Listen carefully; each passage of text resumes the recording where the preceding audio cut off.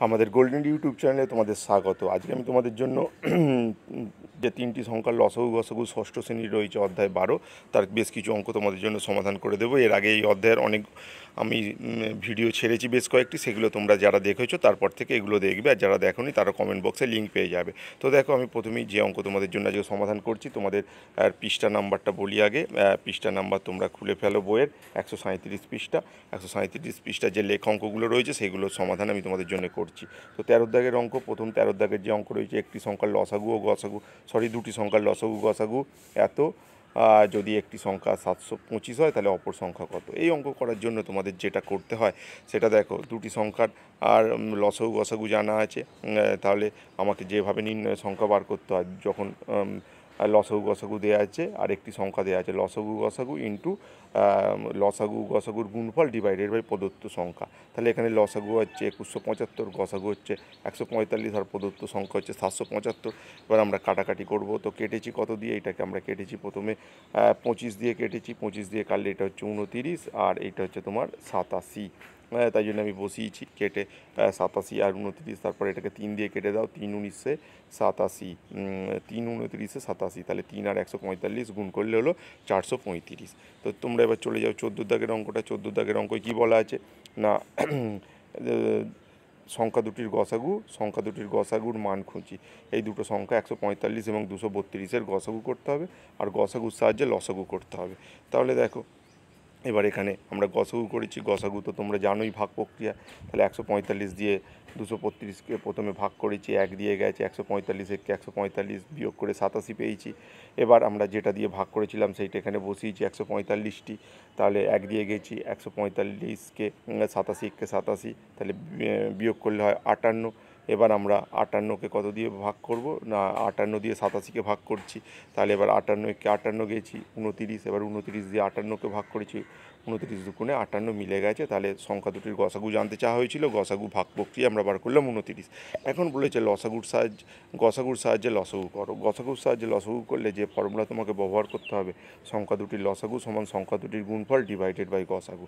এবার সংখ্যা দুটো তো বলাই আছে, একশো পঁয়তাল্লিশ ইন্টু দুশো বত্রিশ, একে গসাগু দিয়ে ভাগ করতে হবে, গসাগু হলো উনতিরিশ, ভাগ করেছি, এবার এটাকে উনতিরিশ দিয়ে যদি কাটো আট হবে, তাহলে একশো পঁয়তাল্লিশ ইন্টু আট সমান হচ্ছে এগারোশো ষাট। তাহলে লসাগু হলো ওদের এগারোশো ষাট। আমরা বার করলাম। তারপর হচ্ছে পনেরো দাগের অঙ্ক পনেরো দাগের অঙ্ক কী দেওয়া রয়েছে?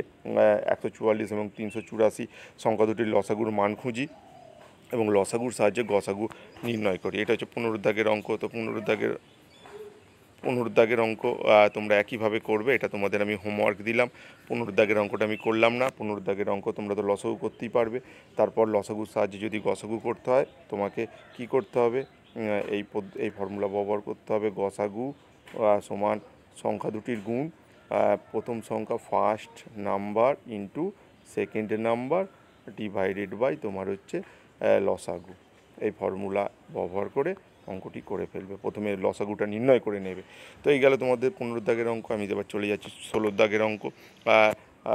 দিয়েছে এখানে পাঁচ হাজার আটশো চৌত্রিশকে কোন ক্ষুদ্রতম সংখ্যা বিয়োগ করলে কুড়ি, আঠাশ, বত্রিশ এবং পঁয়ত্রিশ দ্বারা বিভাজ্য হবে। তো এই অঙ্কটা আমরা করব তো এই অঙ্কটা করছি এই অঙ্কটা তোমাদের জন্য করছি। তো দেখো এখানে আমরা প্রথমে কুড়ি, আঠাশ এবং বত্রিশের আমরা কি করেছি? কুড়ি, আঠাশ, বত্রিশ এবং পঁয়ত্রিশের লসাগু করে নিয়েছি। তো লসাগু কত এসেছে? না, এগারোশো কুড়ি।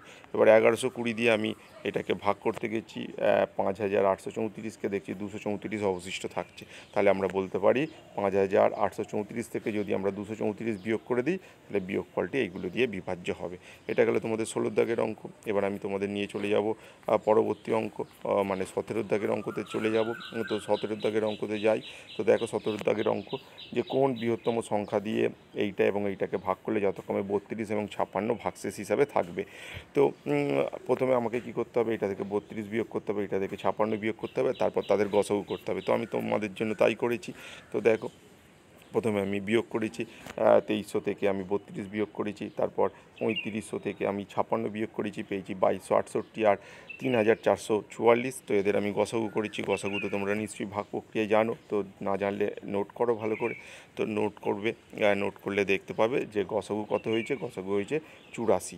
তাহলে আমরা বলব বৃহত্তর সংখ্যা, বৃহত্তম সংখ্যা চুরাশি দিয়ে একে এবং একে ভাগ করলে যথাক্রমে বত্রিশ এবং ছাপ্পান্ন ভাগশেষ থাকবে। তো আজকে আমি তোমাদের এই ভিডিও শেষ অঙ্ক শেখাবো। আবার আমি তোমাদের জন্য পরবর্তী অঙ্ক নিয়ে আসব।